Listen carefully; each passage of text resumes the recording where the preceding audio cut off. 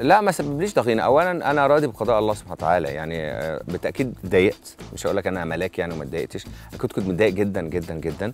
بس في الآخر آه، الحقيقة لما فكرت ما ينفعش إن أنا أعاقب آه، كان الكيان الجماهيري لل- للأهلي بقرارات شخصية من من مدرب الفريق يعني أو لظروف ما يعني.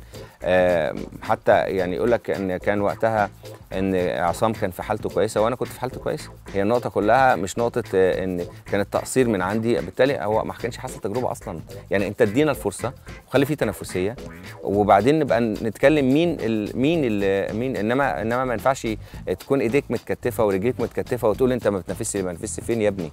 ما حبيبي. أنا آه، لعبت ماتشين وماتشين أديتهم بشكل كويس جدا رغم بعدي. ماتش مع الإسماعيلي كسبنا وقتها كسبت وقتها أربعة باين أو مش عارف كام أو مش فاكر ساعة أربعة.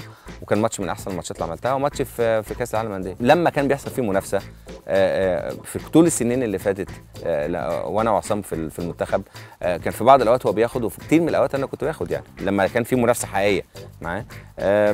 إنما في الأهلي ما كانش تجربة يعني. مش ضغينه سابت ضيق بالنسبة لي إن أنا كنت رايح عشان حاجة معينة وما قدرتش أحققها مش ما قدرتش ما قدرتش أحققها مش ب... مش بإرادتي إن أنا ألعب منتخب مصر هو ده كان ال... كان. ال... ال... الوجع الحقيقي يعني العمل كان عمل عمل إعلامي. كان اولا قناة الأهلي كانت في أحسن آه، وقتها وحالتها.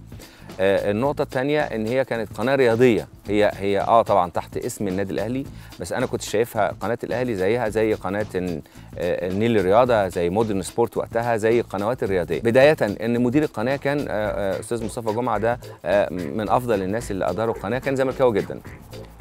معاه. كان موجود في القناه آه، فريق تحليل فني وكانوا عاملين في القناه كان كابتن كابتن طه بسري وكابتن أحمد عبد الحليم و- وكابتن طارق مصطفى وقتها. يعني ففي الآخر فكرة القناة وده اللي أكدوه وده اللي شجعني أكتر إن أنا أشتغل في قناة الأهلي كانت فكرة القناة قناة رياضية.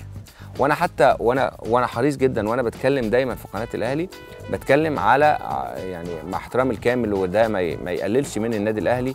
عمري ما اتكلمت باسم الاهلي ان إحنا أو بتكلم على النادي الاهلي عمل كذا النادي الاهلي عمل كذا النادي الاهلي عمل كذا. يعني فمنتهى الاحترافية وأنا كنت واخد بالي كويس قوي في كلامي وأنا بتكلم. ده كان عمل اعلامي كنت بشتغل مع الاهلي كنت بشتغل مع اون تي في وقتها أو أو تي في آه بشتغل في بعض الأوقات مع النيل الرياضة. فكان ما دام أخدت ال career الإعلامي فباخد ال career الإعلامي آه بمنتهى الاحترافية والمهنية برضه.